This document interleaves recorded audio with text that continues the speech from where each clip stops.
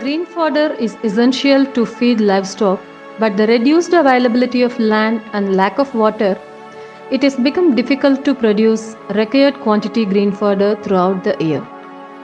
In such cases, hydroponic fodder may be tried.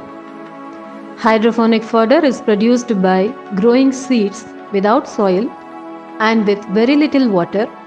Within 6 to 7 days, the seeds are sprouted. The seedlings will be up to 30 to 35 centimeter tall and provide a highly nutritious fodder.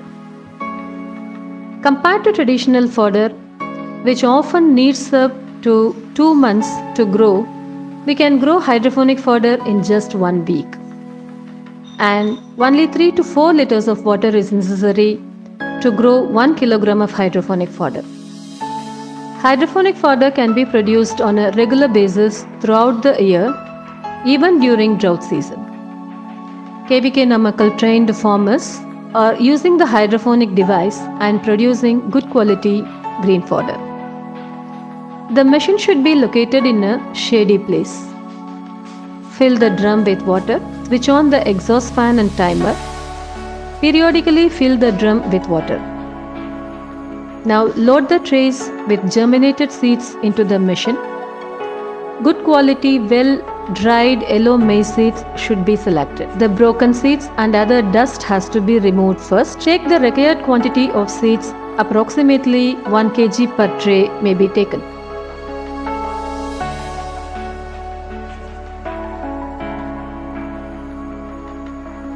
Soak the seeds in water for 20 hours for germination.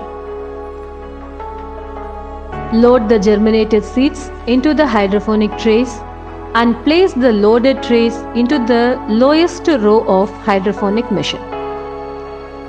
Sprinkle water every hour for about 1 minute automatically with the help of timer. Shift trays immediate to the upper row after 24 hours. Load the next set of trays with seeds into the lowest row and continue sprinkling of water. Harvest the hydroponic fodder for feeding livestock from the topmost row that is 8th row. Add one set of tray every day in the lowermost rows. Other trays should be changed one row upwards.